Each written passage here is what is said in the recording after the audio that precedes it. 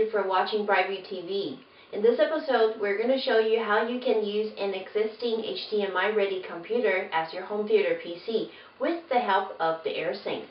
First, you connect the transmitter to your computer, and then you connect the receiver to your TV.